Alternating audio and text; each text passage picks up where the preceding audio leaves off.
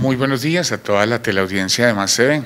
Informarles que eh, un menor de edad en el barrio del Pesebre, el día sábado, eh, en hechos ocurridos eh, dentro de su casa, falleció.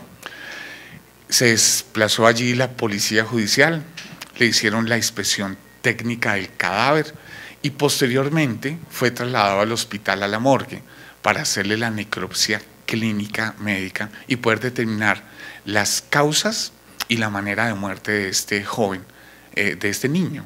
Eh, no tuvo ningún contacto de atención médica porque falleció en el sitio de los hechos. Doctor, ¿se sabe cómo eh, falleció el niño, cómo surgió esta situación? Desconocemos los hechos acaecidos porque fueron extrainstitucionales, pero está siendo ya parte de todo el proceso de investigación que tiene reserva para el proceso a través de la Policía Técnica Judicial y la Fiscalía, que en última fueron quienes atendieron en el sitio de los hechos a este menor porque falleció inmediatamente.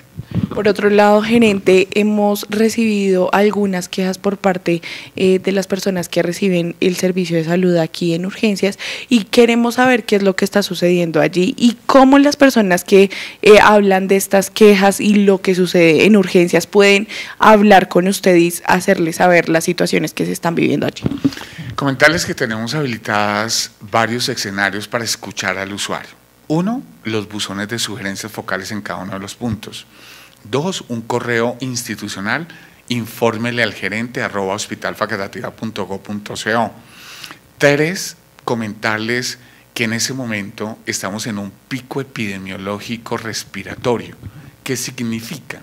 Que con estos fríos que están haciendo y con esta nueva inicio de la ola invernal, de estas lluvias, arrancó un proceso nuevo de gripas y procesos respiratorios infecciosos que hacen que aumenten la demanda del servicio.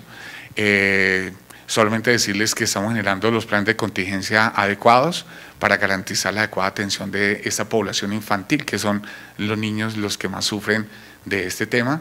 Vamos a sacar con comunicación organizacional y nos, nos, gustaría que pudiéramos compartir a través de las cámaras de ustedes unas recomendaciones para hacer prevención del adecuado manejo de este tipo de alteraciones para evitar que terminen en procesos de hospitalización, bronconeumonías y procesos respiratorios agudos bien importantes. Usted nos hablaba extra cámaras de un tema muy importante sobre la atención en urgencias y es el tema con las EPS. ¿Qué es lo que sucede con esto?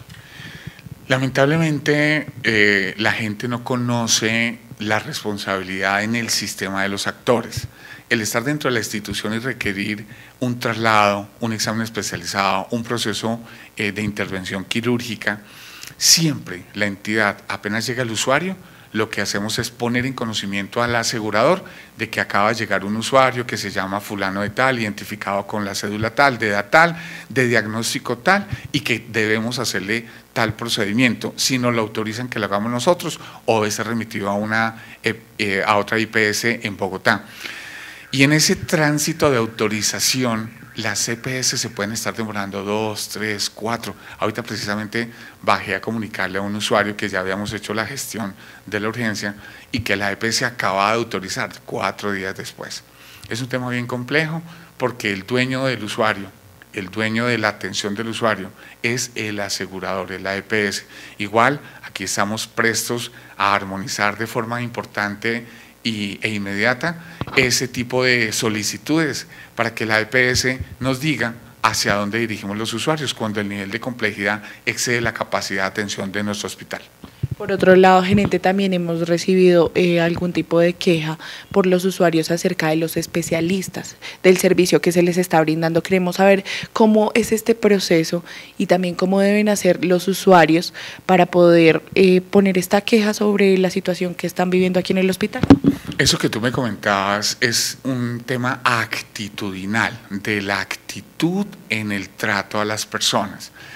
Para eso estamos trabajando muy fuerte en el tema de la humanización, en el respeto al usuario, en el respeto al paciente como una persona integral, independientemente del nivel socioeconómico, la EPS que tenga o la categoría que él posea, porque somos, son personas, entendemos que son personas y los tratamos como tal sin ningún tipo de distinción.